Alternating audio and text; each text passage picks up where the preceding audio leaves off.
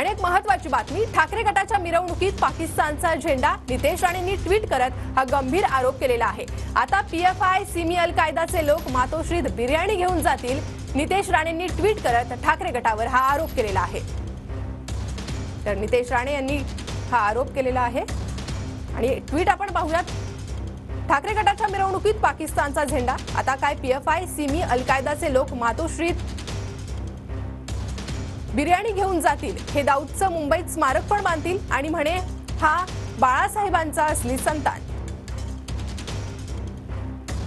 असं ट्विट नितेश राणे यांच्याकडून करण्यात आलेलं आहे. ठाकरे गटाच्या मिरवणुकीत पाकिस्तानचा झेंडा. नितेश राणेंनी ट्विट करत हा गंभीर आरोप केलेला आहे. तर आता पीएफआय सिमी अल कायदाचे लोक मातोश्रीत बिर्याणी घेऊन जातील. नितेश राणेंनी ट्विट करत ठाकरे यांच्यावर हा आरोप केलेला आहे. ठाकरे गटावर हा आरोप केलेला आहे. तर ठाकरे गटाच्या मिरवणुकीत पाकिस्तानचा झेंडा असल्याचं नितेश राणेंनी ट्विट केलेलं आहे. आणि पीएफआय सिमी अल कायदाचे लोक मातोश्रीत जातील. बिर्याणी घेऊन ते मातोश्रीत जातील असं देखील या ट्विटमध्ये नितेश राणे यांनी म्हटलेलं आहे. गंभीर आरोप राणेंकडून ठाकरे यांच्यावर ट्विट करत करण्यात आलेला आहे.